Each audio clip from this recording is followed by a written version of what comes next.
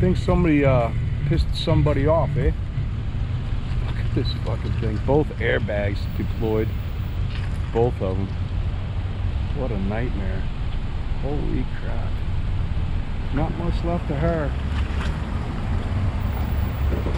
Jump out real quick. I'm curious now. And why is it left here? Look at both of these airbags. Oh my god. Oh yeah. Crunch. Wow. Yeah, that's totaled.